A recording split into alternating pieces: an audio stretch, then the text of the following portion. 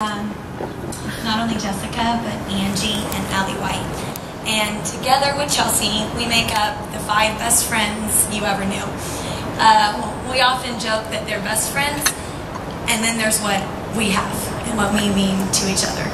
Um, I know that with all of y'all by my side, I feel like we can take on the world together, and there's nothing we can't do. And I know I speak for um, the rest of you ladies, wherein I say that in more ways than one, Chelsea, you're the glue that, um, that holds us all together. Um, and part of the reason why that is, is because it's absolutely effortless to be her best friend. When she asks how your day was, she genuinely means it from the bottom of her heart. She wants to know. And whether you rattle on about whether you should wear the blue cardigan or the turquoise cardigan, or how your sandwich was delicious cut horizontally, but it would have been even better if it was cut on a diagonal